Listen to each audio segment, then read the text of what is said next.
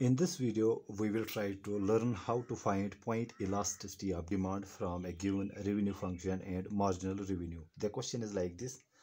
If total revenue from sales of good X is given by the equation that is R is equal to 100Q minus 2Q square where R is the total revenue and Q is the quantity. What is the point elasticity of demand when marginal revenue is given as 20? The options are 1, 1.5, 2, and 2.5 so we will see how to solve this question okay? First we will see what is given. We are given a revenue function so i can write in place of if r is equal to 100q minus 2q square. This is our total revenue function okay? And we know total revenue is equal to price into quantity. So in place of r i will write p into Q. Okay, since total revenue is equal to price into quantity in place of R, I have written P into Q, which should be equal to 100 Q minus 2 Q square. Okay, now we will solve this very equation for P. That means uh, P is equal to this Q will get transposed and it will become denominator here. That is, it will become 100 Q divided by q it is divided to every term here minus 2q square divided by q. And when solving this comes out to be this q and q gets cancelled we get here 100 minus here this q gets cancelled with uh, one uh, q here. So we are left with additional q. So this is our uh, inverse demand function. Okay and we know uh, what is uh, the formula for point elasticity of demand. So i will write here okay?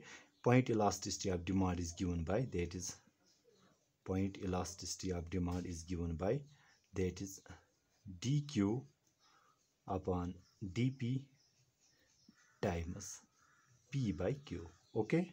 This is the uh, point elasticity uh, demand formula. Now we got here price function okay? After that what will we do? Uh, we will see what is our uh, marginal revenue. We will find what is the marginal revenue okay? Since this is our total revenue function marginal revenue is simply the derivative of total revenue with respect to quantity. So this is dr divided by dq.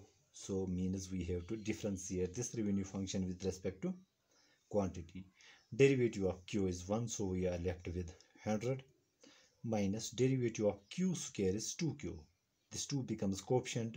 So 2 into 2 is 4 i will write here 4 q and this 2 is uh, the exponent is subtracted by 1 that is 2 minus 1 is 1 so we are left with q only okay? That means our marginal uh, revenue is equal to 100 minus 4q okay? Uh, up until uh, up until now i hope uh, you are getting me what i am saying. So this is our marginal revenue function. But we are being given the value of marginal revenue. That is i can write but mr is given that is 20 okay i will write here it is given. That means we will equate uh, this marginal revenue with this marginal revenue. That means 100 minus 4q should be equal to 20 okay? So i will write here 100 minus 4q is equal to 20 okay?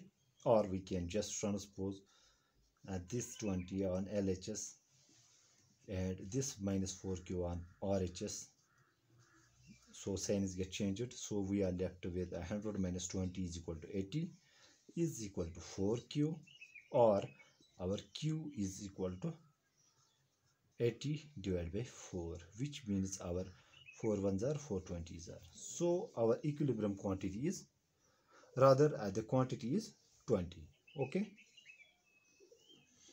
Now we have to find so we got this q. Now we have to find p. So p is equal to we just put q is equal to 20 the value of q is equal to 20 in this inverse demand function to get the value of p. That means p is equal to 100 minus 2 times the value of q which we calculated is 20 so i will write here 20 so p is equal to 100 minus 40 which comes out to be 60 okay?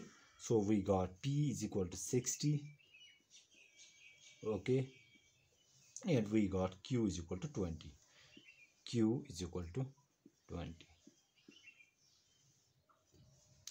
so uh, we got the both values here. Okay?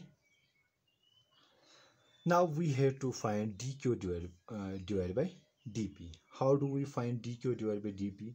We again uh, take this uh, inverse demand function and solve it for q. That is we write this inverse demand function uh, in q. So i will write here first p is equal to 100 minus 2q okay? So we will uh, solve this for q first. So this is simply we transpose uh, this 2q on LHS this becomes positive 2q and we have 100 and transposing this p here.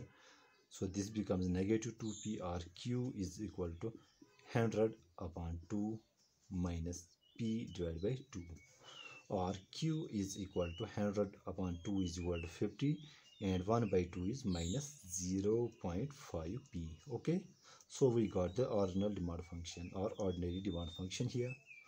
Now to find dq upon dp we will differentiate this demand function with respect to price okay?